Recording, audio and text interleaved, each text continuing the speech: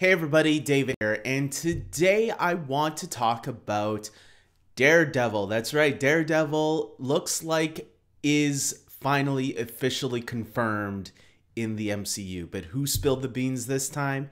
Well, it looks like it's the boss himself, Kevin Feige.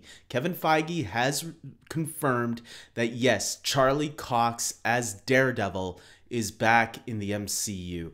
He is going to officially be the Daredevil of the MCU.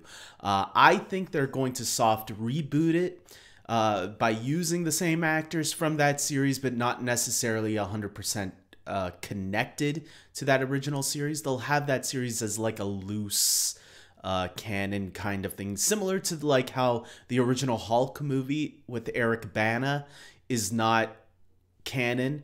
But if you want an origin for the Hulk there's nothing stopping you from watching that again to uh, see that origin. There's nothing really conflicted about it unless you watch Agents of S.H.I.E.L.D., which I believe is not canon.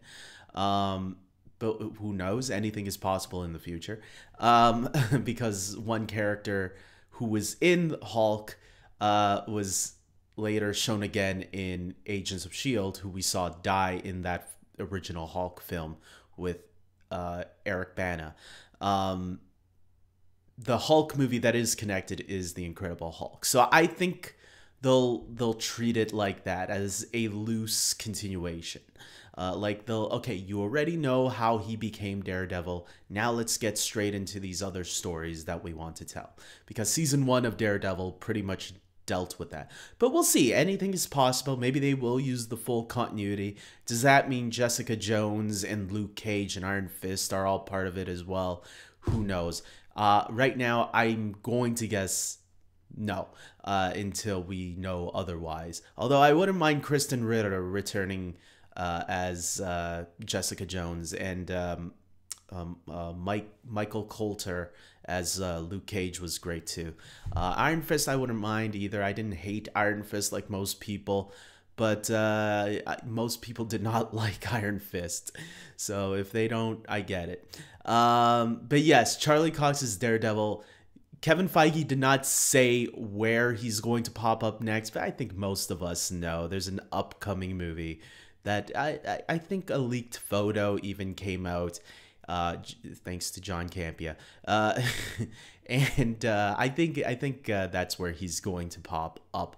Funny enough, we're all also speculating that the Kingpin, played by Vincent D'Onofrio in that same series, is going to be popping up in Hawkeye. And again, I wouldn't be surprised if it's going to be episode 5. So, not this week's episode of Hawkeye, but I believe the next episode of Hawkeye the one after this week's uh, will uh, be featuring the Kingpin and show revealing who he is because that that shirt that that dress shirt that he was wearing uh, and the coat uh, looked very similar to what he wore in Daredevil. I actually just watched one episode during the weekend, and uh, yeah, he was wearing very similar type of clothing.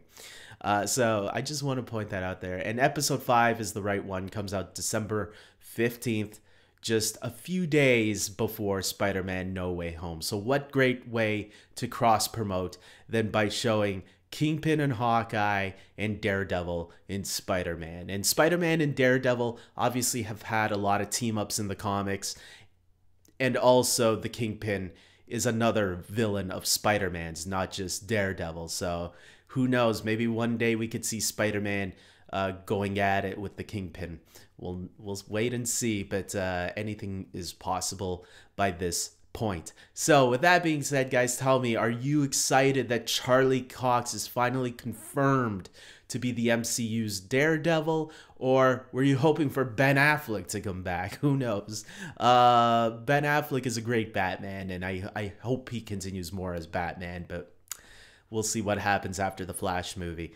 Uh, but uh, this news about Charlie Cox, uh, that that's great. That's great. Marvel gets it when a character and an act when an actor is really popular in the role of a character.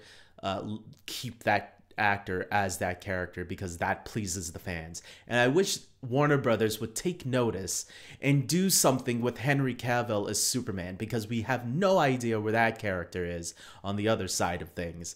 So, WB, take notes of this. Clearly, Marvel gets what the fans want. Uh, with that being said, I'm rooting for both Marvel and DC, but DC sometimes they don't make the right decisions. Uh, with that being said, until next time, everybody, take care.